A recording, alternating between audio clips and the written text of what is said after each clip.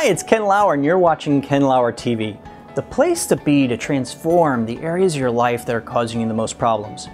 And today's question comes from Sarah, and she writes Hi, Ken. I'm moving into a new home, and I want to make sure that I really position my bed correctly according to feng shui guidelines. So, what are the best tips that you have for placing a bed in the correct position? Sarah, this is a great question, and here is why. One of the most important aspects of a bedroom layout is the actual placement of the bed. It can not only serve as the focal point of a room, but it can also have an impact on many areas of your life, including your relationships, your finances, your health, and overall self confidence. When you have your bed in a proper position, you're in control of your life, you're more productive, and you can really be more proactive rather than reactive. You have less anxiety, frustration, and you really feel like you're moving forward in life.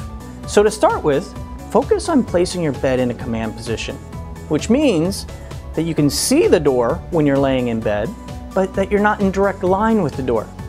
Now, as you can see in this diagram, there are three command positions of a room, so that your bed is on one of the side walls or at an angle or positioned on the back wall. Notice that these positions do not have the bed directly in line with the doorway. One common mistake is placing the bed in direct line of the door, which is referred to as the coffin position.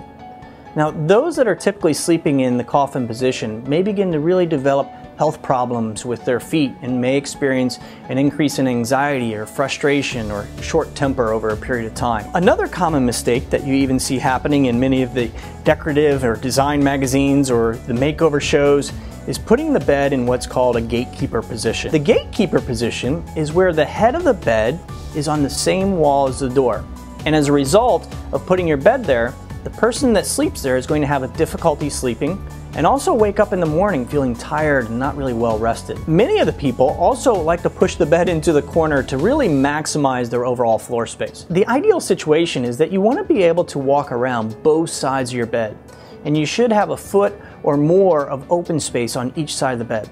If one side of the bed is blocked, it could have an impact on either your relationships or your finances and income, depending on which side of the bed is being blocked. Another question I get a lot of is, can I place my bed under a window? Well, the bed can be placed under a window, but you need to make sure that you have a solid headboard. It could be made of wood or fabric. You need to make sure that it's solid and it's firm, especially if you have a window that's really drafty. One thing to consider is when placing the bed, what's on the other side of the wall or in between the wall? It should not share the same wall as water pipes or a faucet or a stove or heavy amounts of electronics directly opposite the wall, as this can have a negative impact and really can cause mental and physical issues over time. So let me share a quick story with you regarding the placement of the bed. One of my clients came to me because she'd been having insomnia for more than a year. She was frustrated in her current job and was really just feeling stuck in so many areas of her life. So one of the things we did was we actually moved her bed to the command position. And that night, she got the first full night's sleep in more than a year. She woke up more energized and that feeling really continued. She was able to take better control of her life and her goals. As a result, she began living a more fulfilling life. She left her dead end job and realized she wanted to start her own business.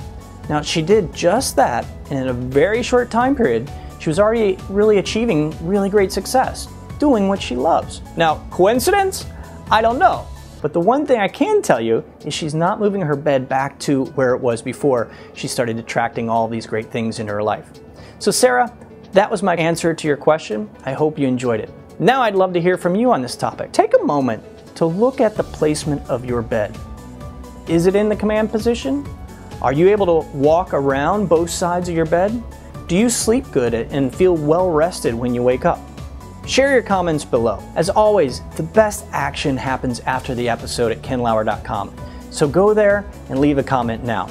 Did you like this video? Then subscribe and share it with your friends. And if you want even more great resources to transform the areas of your life that are causing you the most problems so you can live your best life, come on over to kenlauher.com and sign up for the updates. Keep focused and strive for your goals and take action so that you can share your greatness and your beauty with the world.